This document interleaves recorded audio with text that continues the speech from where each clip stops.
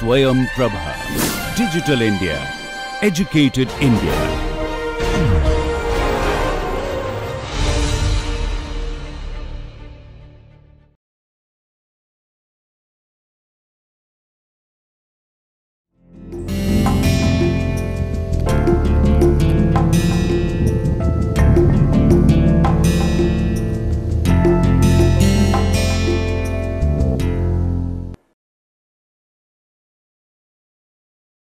Hello and welcome to the lecture number 5.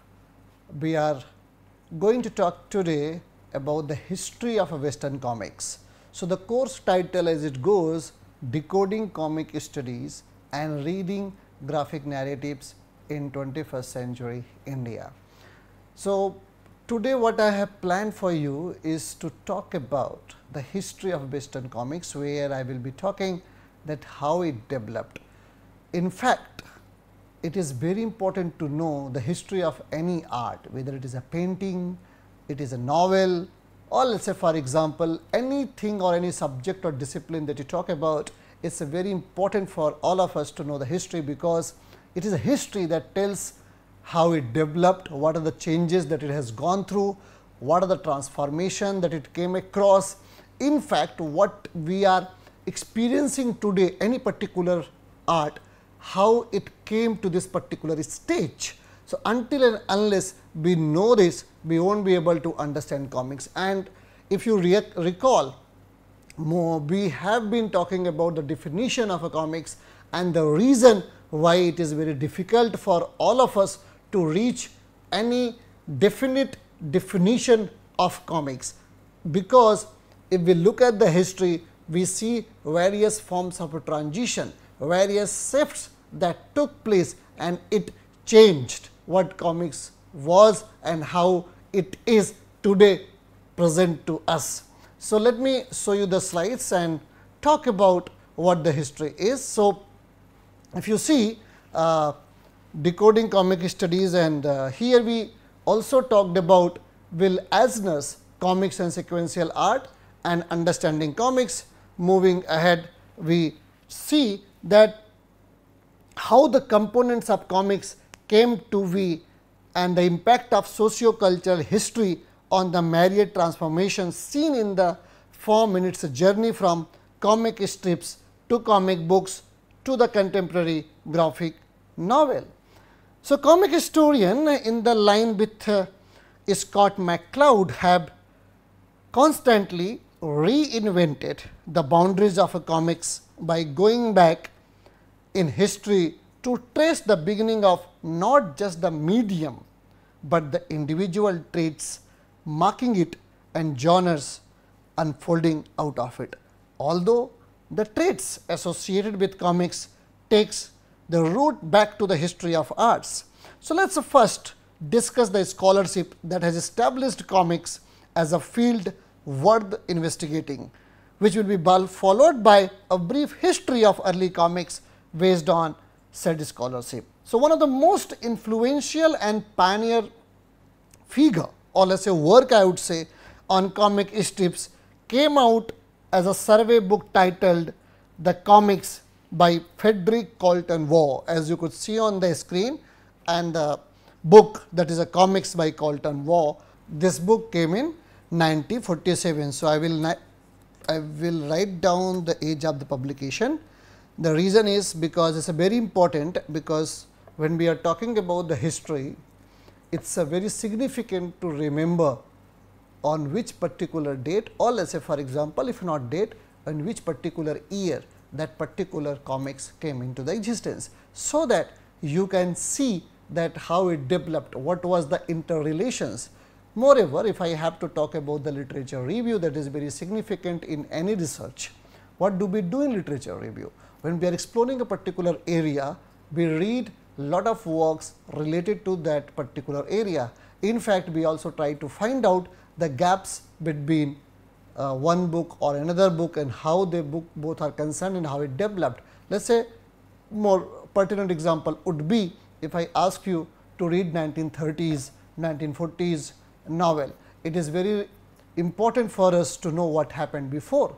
Until and unless we know, it will be difficult for us to make a connection or to find out that how it has to be read, which is why I will note down the publication time of all the important books, so that you can remember for yourself and the purpose why I am going to talk in details about the history, so that you can know the nuances concerning with comic studies and the same time if you are going to delve into this field, it is very important for you to know the important books and you can take these books for your references and for further exploration and which is why I am going to be very precise and concise when I am going to talk about the name of the books and also the publication time. So, here you see on the slide the comics you see by Coulton Waugh which came in 1947. Moving to the next slide, here we have a, uh, he is a one of the foremost comic historian is a French American Maurice Horn, right, who wrote the World Encyclopedia of Comics and this one came in 1976. Please note down the World Encyclopedia of Comics edited by Maurice Horn 1976. So, which focuses mostly on American and European comics tradition. So, this book is specifically not concerned with Asian and South Asian, this book is specifically concerned about American and European comic tradition.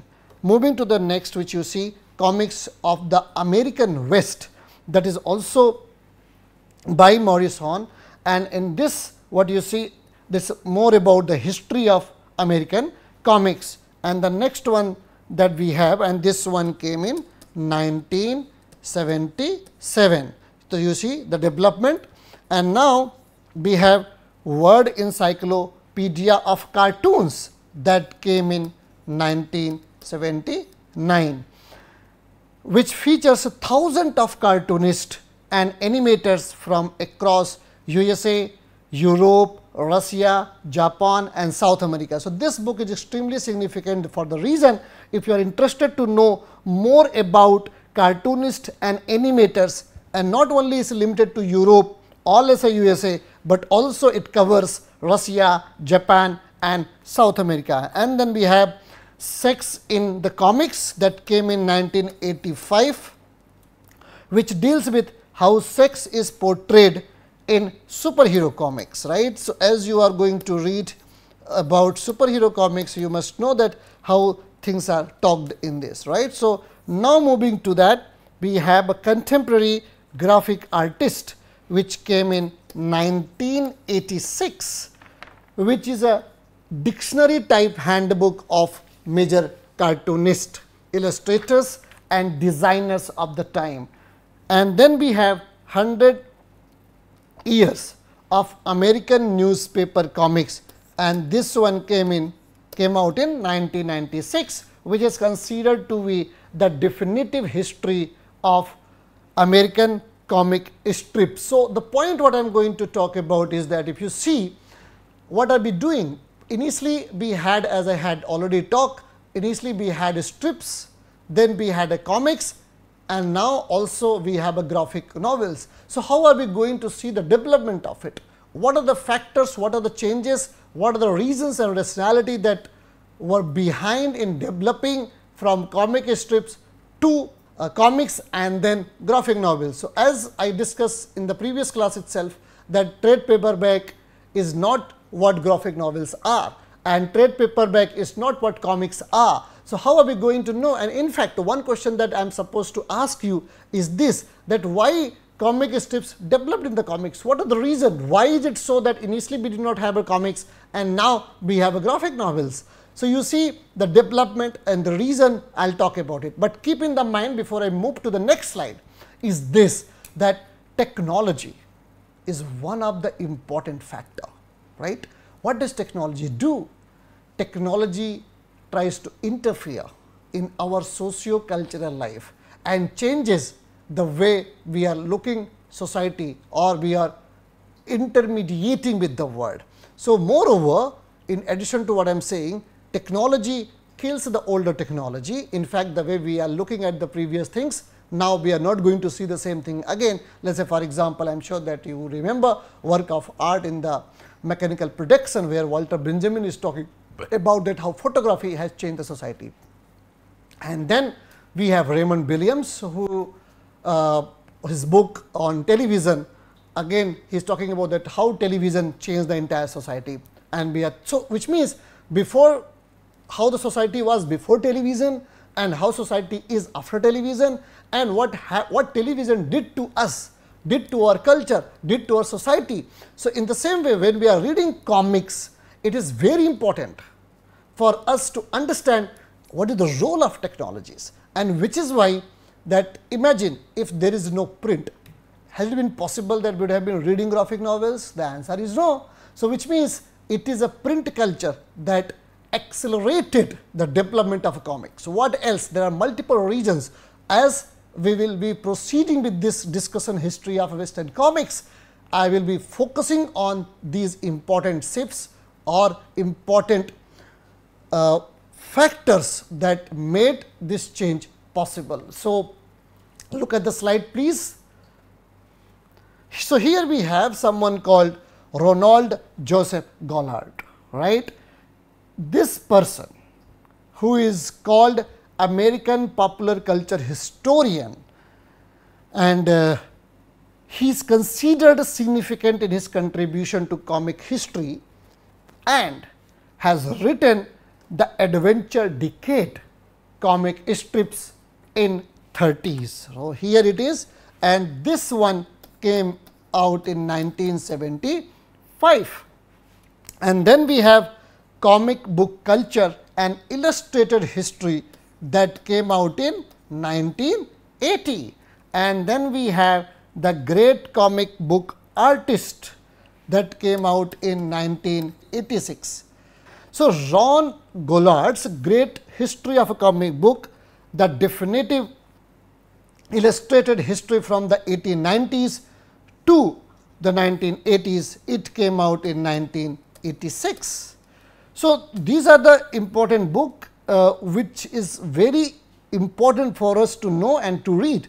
So, the comic book reader's companion and A to Z guide to everyone's favorite uh, sorry everyone's favorite art form that came in 1993. So, here you see the development the person called Ronald Joseph Goulart has written the book Adventures Decade, Comic Book Culture, The Great Comic Book Artist, great history of comic books and here we come the comic book readers companion. So, you see this book is not only for comic artists, this book is more significantly for the people who are delving into to know the discourses of comics. So, the comic book readers companion and A to Z guide to everyone's favorite art form is a very I would say seminal one which changed the way we have like for students the way they read comics and then we have the funnies 100 years of American comic strips that came out in 1995. And then we have comic book encyclopedia, the ultimate guide to characters, graphic novels, writers and artists in the comic book universe that came out in 2004, which means almost 20 years before among many other on comics. So, Goulart was also the editor of the Encyclopedia of American Comics from 1987 till his death in January 2022. So, here you could see this that how Goulart is so important for uh, students and research scholars who are getting into uh, comic studies. So, his contribution we cannot forget. So, Goulart also has multiple runs on major comic characters like the Phantom and the Flash Gordon. And here we come uh, two important comics as you could see the Phantom and the Flash Gordon. Now, here we have the person called American Comics Collector Bill Blackbeard right. This name we should not forget and we will never forget if we are even thinking about comics or going into comics. So, Bill Blackbeard was perhaps the greatest defender of a comics as a text worth studying. Blackbeard was the founder director of the San Francisco Academy of Comic Art, which according to an article on the death of a Blackbeard by Margaret Fox in the New York Times, consists of 2.5 million strips and comic section from 1894 to 1996. So, the point what I am making here with the help of a black, black beard is this that why are we reading comics right? And blick for me Blackbeard is more significant not only for what he has contributed in comics, but more importantly that why we should read comics right? That is the one uh, I would say that uh, focus or emphasis that he made. Importantly that he changed the perception of the people to look at comics in a very different way. So, so far comics have been observed or understood as part of entertainment for the children, which means that you are supposed to buy these comics or strips meant for only and only children. But first time we notice that these people after a certain point of time, they are making a great hinge. In fact, they are trying to constantly convince us that comics is not only meant for children, but it is a very serious art form. It concerns us, it talks about our culture. We will talk about that how does it talk about our culture and therefore, it is our honest job in fact sincerity that we should advocate people to read comics. It should be taken most importantly, it should be taken seriously, right. So, now we are going to look at Bill Blackbeard's contribution. So, here on the slide if you see that Bill Blackbeard was perhaps as I said the great defender of a comics, right. And as you could see that uh, his uh, contribution in transforming comics as a text is extremely significant. Now, we have a David Kunzle who is talking about the earliest comic strips in his books. The early comic strip, narrative strips and the picture stories in the European broadsheet from 1450 to 1825 and this one came out in 1973 father of the comic strip Rodolphe Töpffer which came out in 2007 and Cham the best comic strips and graphic novelette that came out in 2019. So, the three books by Kunzle, the one uh, the early comic strip, the second one we have the father of the comic strip and then the third one we have Cham. This three books by Kunzle that traces the comic strip from before the arrival of Swiss cartooner Rodolphe Töpffer, right. So, here you see the pictures of Swiss cartoonist, right. Let me write it for you. Swiss, anyway, we are going to talk about him, right. Swiss cartoonist. So, David Kunzle is significant if you have to uh, know and see the uh, changes that before Swiss cartoonist came into the picture, he has written these three, right, father of the comic strip, the early comic strip and the Cham, who is considered to be the first to use the comic strip in the way we know today, right. So, Rodolphe Töpffer's contribution is this that he is the first one in fact, I would say that he was considered, he is being considered to be the first to use the comic strip in the way we know today. Through the works of Töpffer and into and into the works of Töpffer student and comic strip artist Charles Amédée better known as Cham, right. And this is after his name, uh, David Kunzle wrote a book called Cham, right. So, so here is a framing in fact what I am trying to do that in this way we could see that how a fundamental history of a comic strips in the early 19th century, right. So, we can know the fundamental history of the comic strips in the early 19th century and then we, we have Robert C. Harvey who was a comic artist and academics whose works are considered to be vital to the understanding of the comics form. Harvey's book and this one The Art of the Funnies which came out in 1994 hmm. and The Art of the Comic Book that came out in 1996 were published by the University Press of Mississippi and he also edited right? And that is what I wanted to write for you.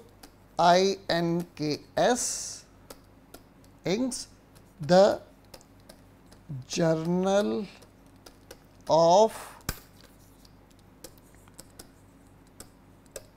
Aesthetic sorry the Journal of uh, the Comic Studies Society right. So, remember this name in fact, uh, uh, Rich Marschall is one of the major authorities on pop culture who has written about comic strips in his book America's Great Comic Strip Artist from the Yellow Kid to the Peanuts and that came out in 1989.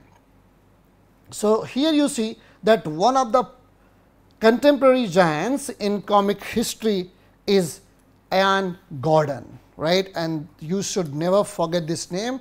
He is one of the contemporary giants as you could see that he pioneering work we have comic strips and consumer culture that is from 1890 to 1945. And this, this book merged comics with cultural studies in the academic milieu. So, here what I am trying to suggest with the help of Ian Gordon is that look at the title. The title is that comic strips and the consumer culture. So, here you see that Ian Gordon's contribution can be thought of in such a way that how comic studies can help in developing culture studies or vice versa, which means when we are living in interdisciplinary field, it is very significant to understand. Moreover, comic studies can never be read and never be understood without knowing or taking the help of other disciplines. And what Ian Gordon does in his book called Comic Strips and a Consumer Culture, he is talking about that how the methodology of culture studies is helpful in reading comics. Moreover, he is also talking about that comic studies can be very beneficial in developing comic in developing culture studies. So, think for a comics for a second right and think for a culture studies for a second. What does culture studies do? Let me give you an example. Let us say for example, medical humanities right. What does be as a literary person or let us say a person who is invested or who is investing in literature department, what do we do when it comes to medical humanities? Our job is not to treat the patient, right? Our job is not to tell the medical institutions that these medicines are important and must be prescribed for a particular patient or a person who is suffering from particular disease. Our job is to look at the object which is a object studied by medical science and then how it is going to be approached from socio-cultural perspectives, right? And which means we are bringing two different disciplines together. The one side we have a medical science and another side we have let us say for example, sociology, right. So, the cultural object we are treating the object which is being studied by medical science as also a cultural object and we are doing a study on it. In the same way what comic studies do. Comic studies also deals with so many themes and issues and moreover comic studies is extremely significant is also because it talks about something which is not possible in other art form right. What I mean to say that comic studies can be also a gate through which various discourses and various argument can come out. In fact, it is talking about certain issues which was came very late in other art forms that we are going to discuss as we read history of western comics. All right, so focusing on Ian Gordon, so look at the slide please. We also have the one of the important book called Kid Comic Strips a genre across four generation, right? And this one like if you uh, uh, see this and there is another one we have Superman, right? And this one came in 2016 and then Superman the persistence of American icon came in 2017 which means 6 years before. And the superhero symbol media culture and politics this came in 2019 among many others Gordon also co-edited some very recent book like comics and ideology which came out in 2001 and then we have a film and comic books. Here we see 2007 and then we have the comics of Charles Schulz the good grief of modern line that came it came out in 2017 right? So here you see what Gordon has done. Right? What Gordon has done as a historian a service by recognizing the importance of popular visual sources as important clues to understanding American culture. So, the point what I am making my dear students is that how we can know about the American culture. So far we read history, so far we read political science all let us say for example magazines, pamphlets all let us say for example we go and look into the archives to know about the history. But can you ever thought or in fact can, it was ever part of any discussion among the groups that comics can also be the part of a discussion to know about the history of a particular culture? The answer is no.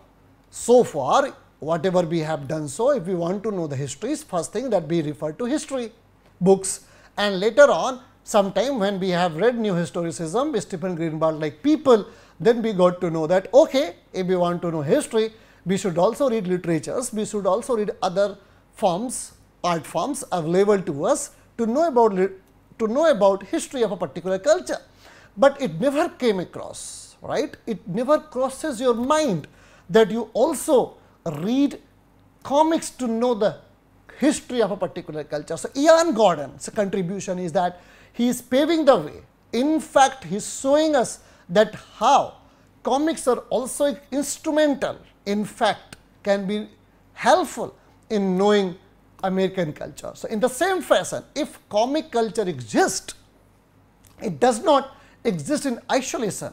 It is not written, I am sure that if, if like I do not have a time to talk about more post-structuralism because my job is to talk about comic studies. So, therefore, what I am trying to make you aware that by knowing comic studies, we just do not entertain ourselves. That is a very silly way to think about comics, but we can also know about a particular culture. So, therefore, what Ian Gordon is doing not just talking about that knowing if you want to know a particular culture you should read comics, but he is showing that how things or disciplines are interrelated.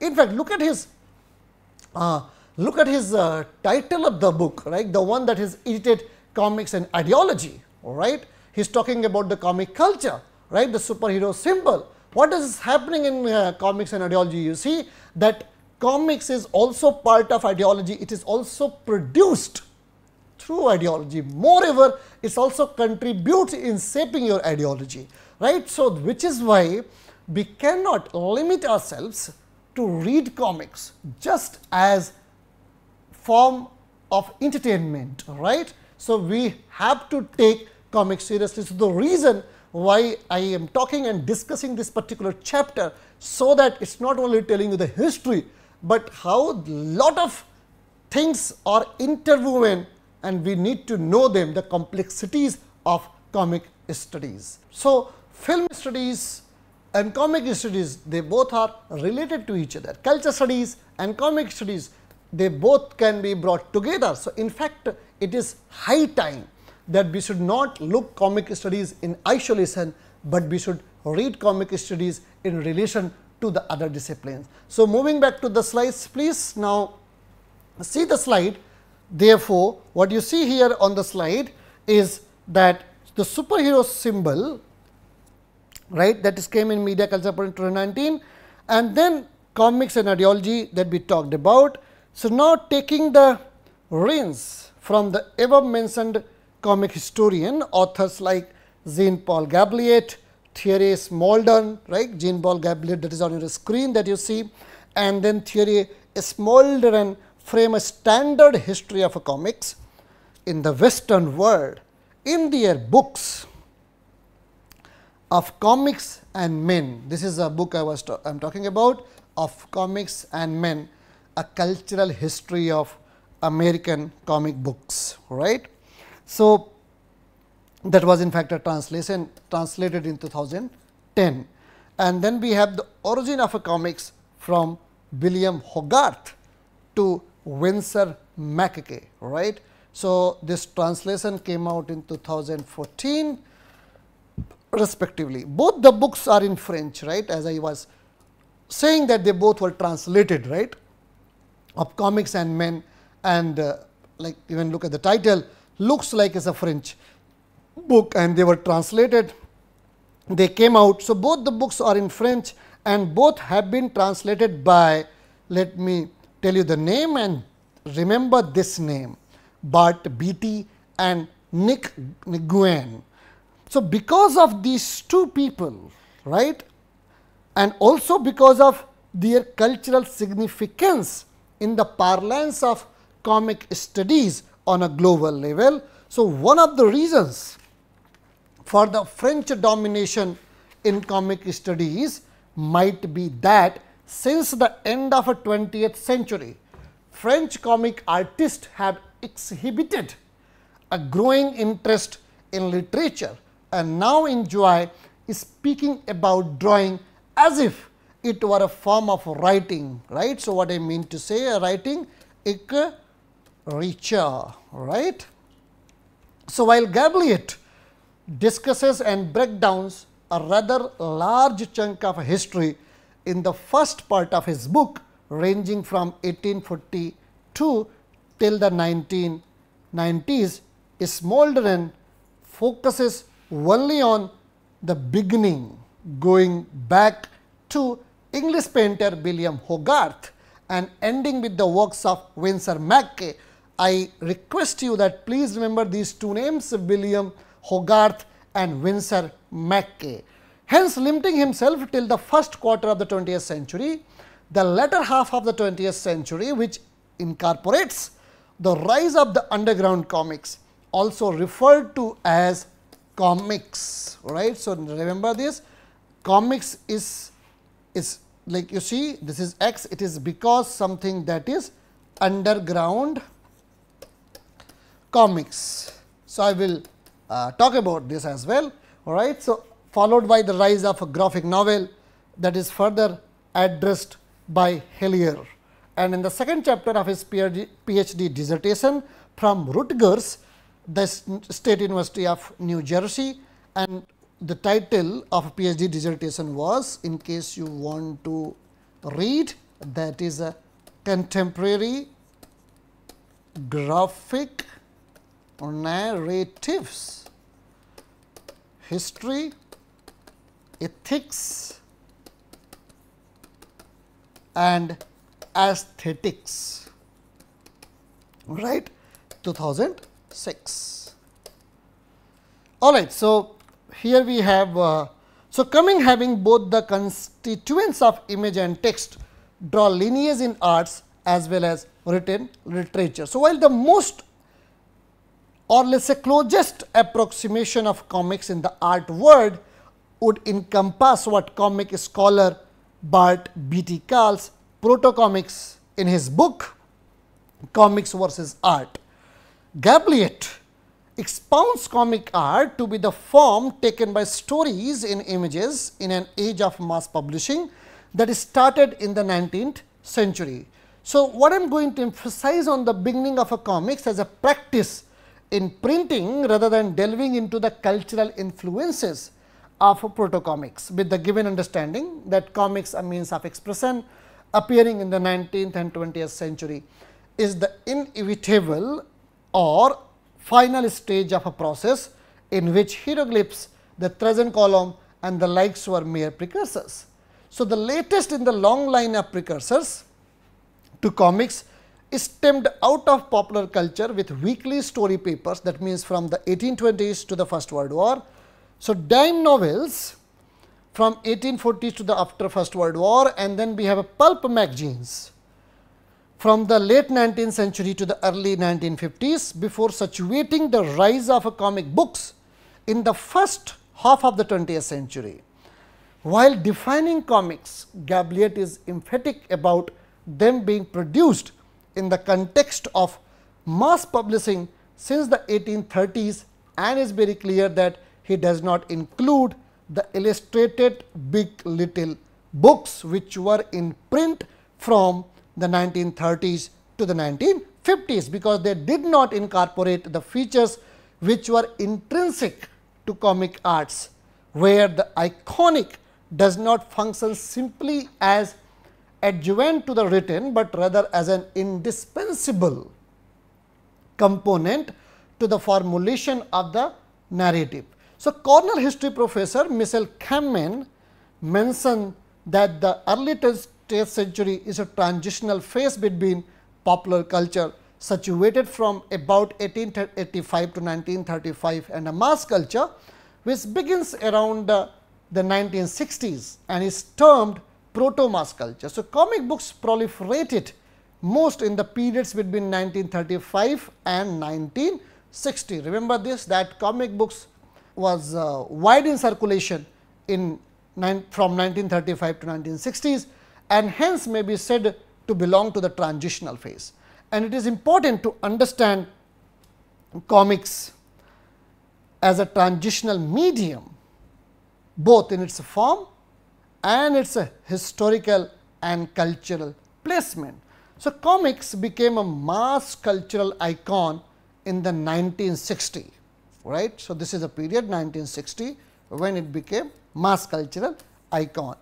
When it reached higher echelons of the cultural hierarchy powered by the nostalgia of intellectuals born in the 1930s, the fascination that the college students had with superheroes and a fervor of countercultural rebellion in the 1970s with the formation of a subculture populated by dense network of specialty stories and a community of collectors and the advent of alternative comics which gave way to more literary and more personal uses of the medium.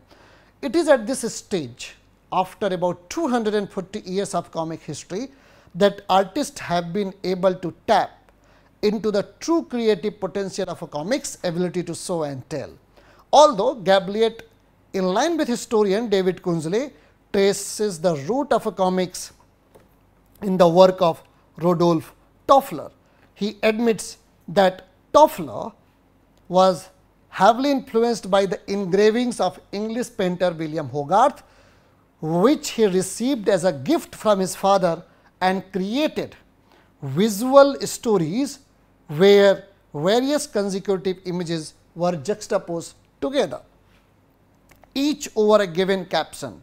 Following Hogarth precedent, it is fitting to begin the history of western comics with the contribution of Hogarth. As you see on the slides, you see the transition I am talking about, Gabilliet, Conjulesu, Töpffer and then Hogarth. All right. So, before I uh, go back to William Hogarth, there is something which I wanted to tell you, right. The point is this that when we uh, uh, see uh, someone like William Hogarth, what is important for him, right. William Hogarth was a son of a Latin professor and was molded in his youth by the thoughts of the likes of John Locke and Joseph Addison. I am sure that you must have heard the name of Locke and Addison. Hogarth is known for his series based engravings which Thierry Smolderen emphatically calls novel in pictures. right? So, Hogarth's first such work of primary importance which is considered by comics historian as perhaps the earliest precursor of a comics, a Harlot's Progress framed in 6 engravings.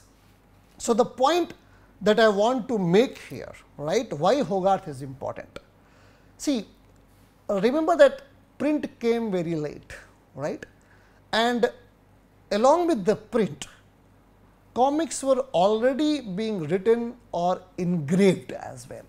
So, when it comes to let us say for example, Hogarth, Hogarth used to engrave right he was not writing he was basically engraving. So, let me uh, give you an example to make this idea quite clear to you.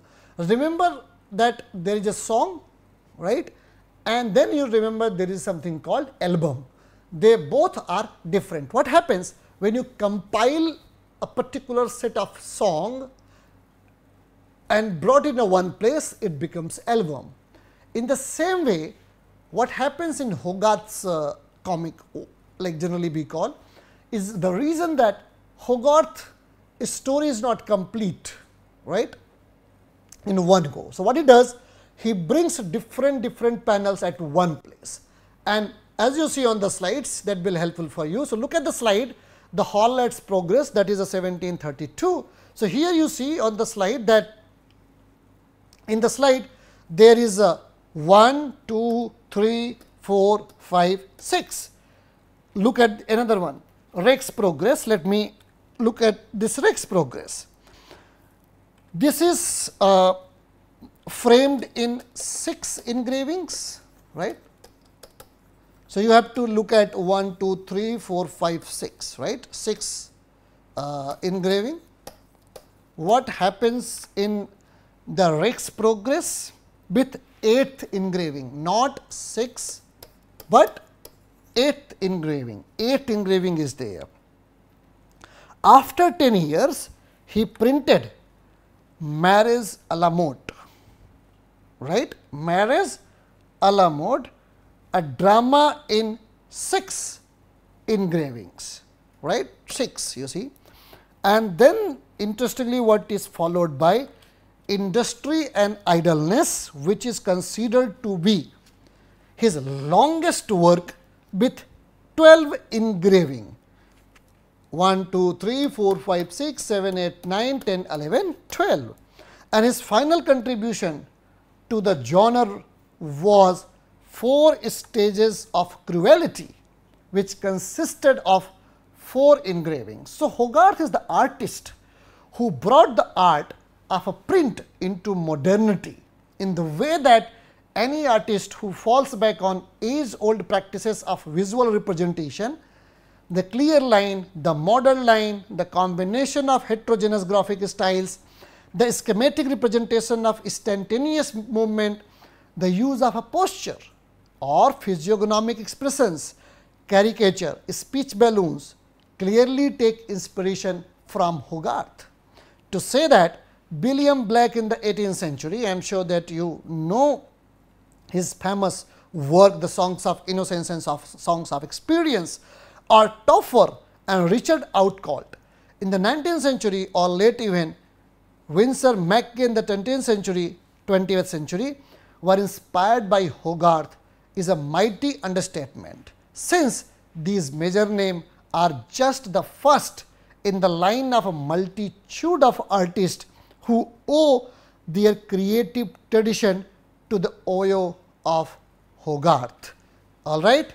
So, Hogarth is important for us for the reason as I uh, talked that his contribution in comics is extremely significant for the reason that every important comic artist are highly influenced. So, his engraving like his mode of representation was very different, but most of the time when we see comic artist they are highly influenced and his technique I would say that were borrowed uh, by comic artist. So, here you see I will talk more about the Hogarth. So, here you see on the slide what we have is that Hogarth look at the slide please that the printed plate in each of Hogarth work act as a panels and when uh, uh, when put out in a sequence after a reassuring guided tour in a labyrinthine space that resonates with virtual trajectories.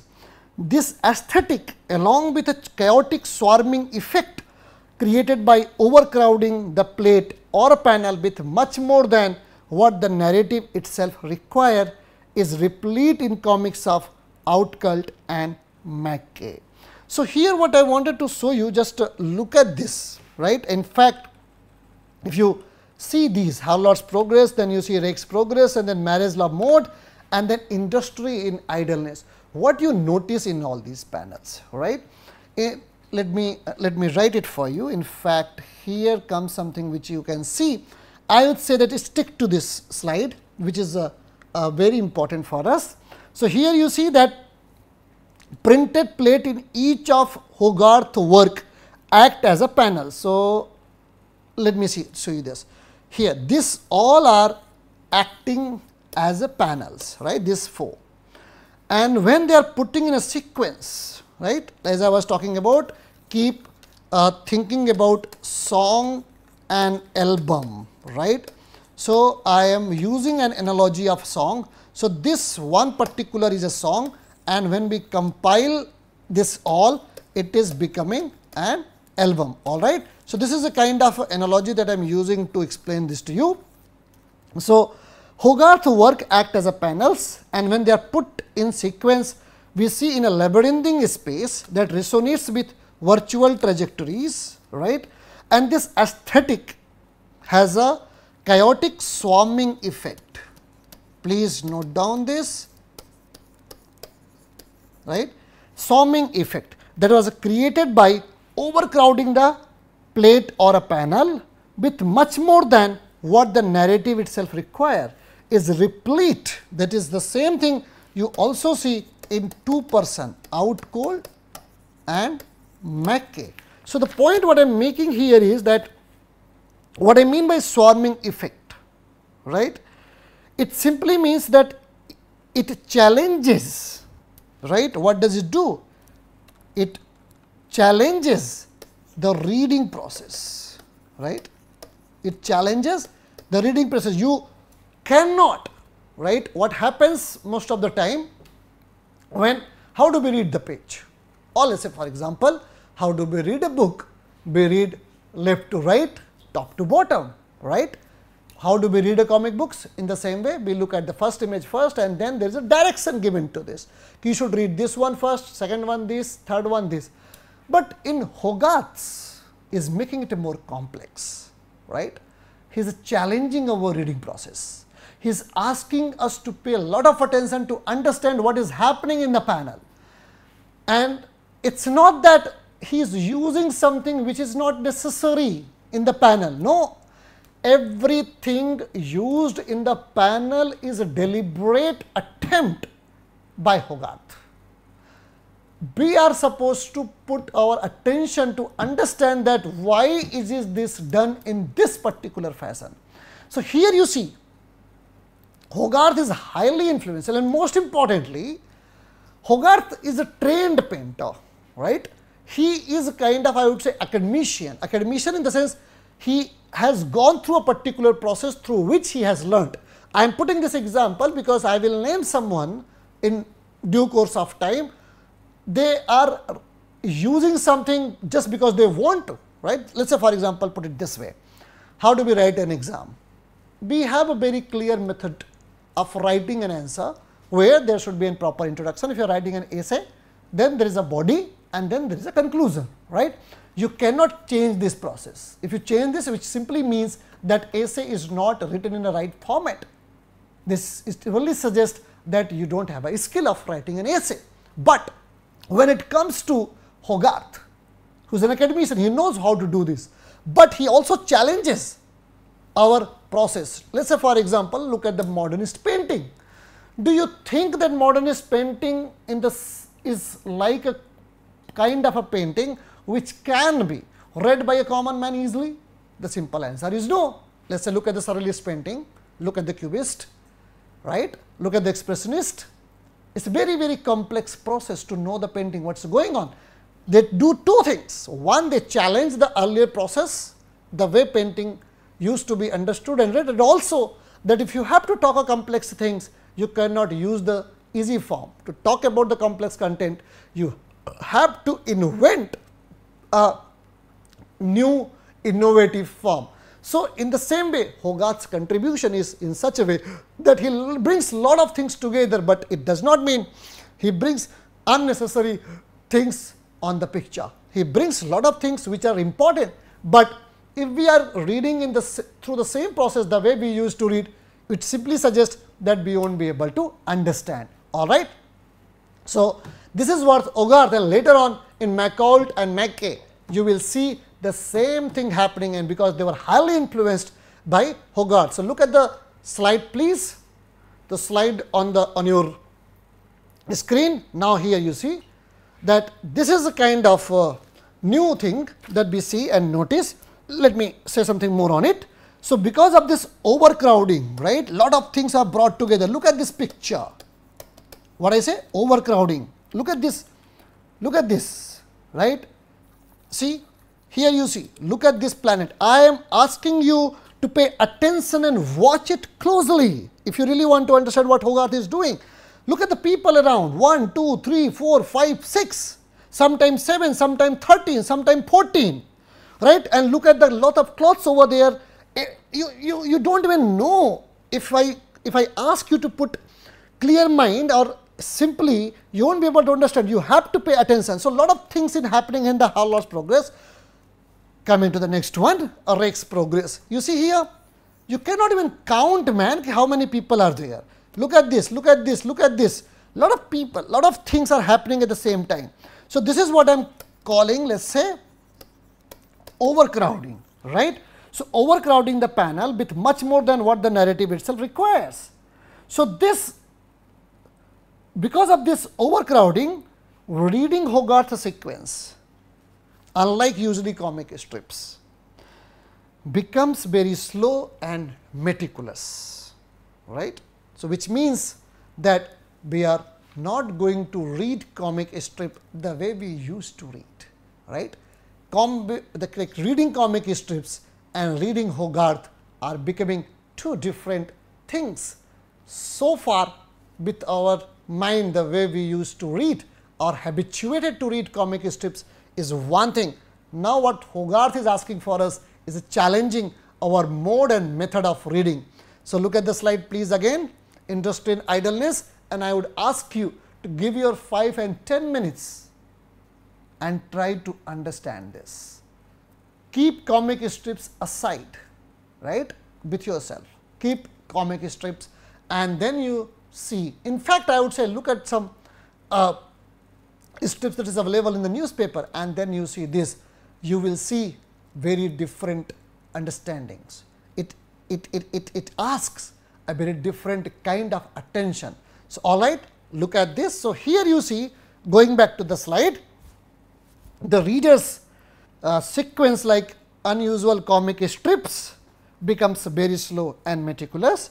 The reader of any graphic narrative in the veins of Hogarth's style is a detective who is not only uncovering the overarching plot, but also getting lost in the little details to interpret the slightest of visual nuances. So, this tradition of readership and the ability to create such a space where the apparently unnecessary gains the stature of necessity through visual intervention makes comics the most natural mode of narrative representation, right? What I call the objective documentary reproduction of visible reality, right? Let me repeat it for you. The objective documentary reproduction of a visible reality.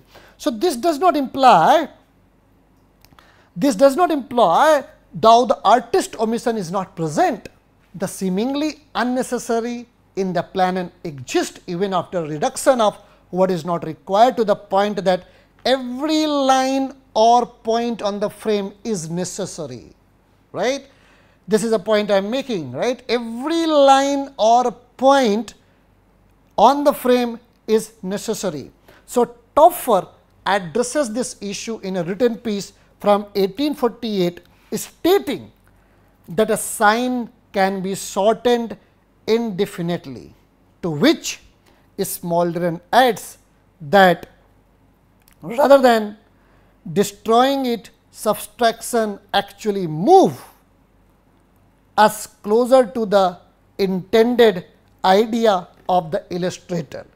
Even a very popular contemporary Indian artist and author Amruta Patil explained this very idea while discussing her process of writing graphic novels in an interview by Liv Mint, where she states that that is on your screen, you can easily read it.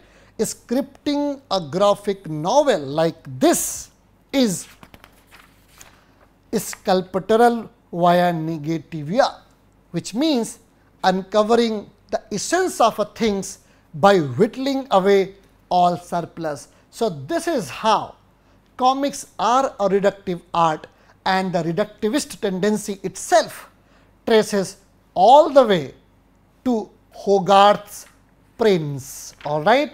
So, here what you see that what I have been talking about is Hogarth's contribution and the same way reductive art, right. Comic is considered even by Amruta Patil as a reductive art, right. Or let us say for example, what Rodolphe Töpffer says a sign can be shortened indefinitely. So, what I mean by like what they mean by uh, reductive art? It simply suggests that things available on comics is not that everything what came into the mind of the artist he overpoured it. No, he meticulously and beautifully considered only those words, those colors, those lines, those plates, those panels which are important to discuss or which he wants to convey to you that is only things available. Every other rest of the things are